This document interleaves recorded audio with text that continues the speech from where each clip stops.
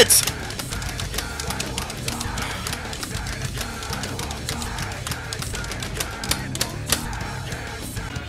How the hell did Will F see this song on Rock Band? Jesus Christ, man.